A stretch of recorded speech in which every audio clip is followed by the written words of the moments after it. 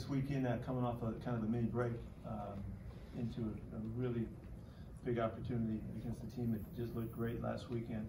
And, uh, we gotta get our game going, and I know that they feel the same, a couple, two and threes going, going at it on the East Coast on Sunday nights. Uh, it's, uh, it's gonna call for a championship matchup and a championship performance from us. We have, we have a lot to get done this week.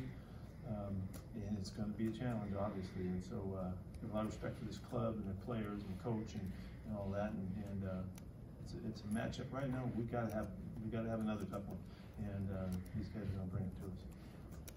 What happened with Tre Flowers? Ultimately, why did that not work out for the two? It was, I think it was time for a change for him as well, you know, he, he had a couple guys that are getting some playtime ahead of him, and, uh, I love that kid, you know, I love the kid, and, and I've been working with him as close as anybody I've worked with since I've been here, and, uh, and I, I, feel it's better for him to get out of here and get going again, there's a lot of teams that need corners, and, and I, I hope he gets a great shot.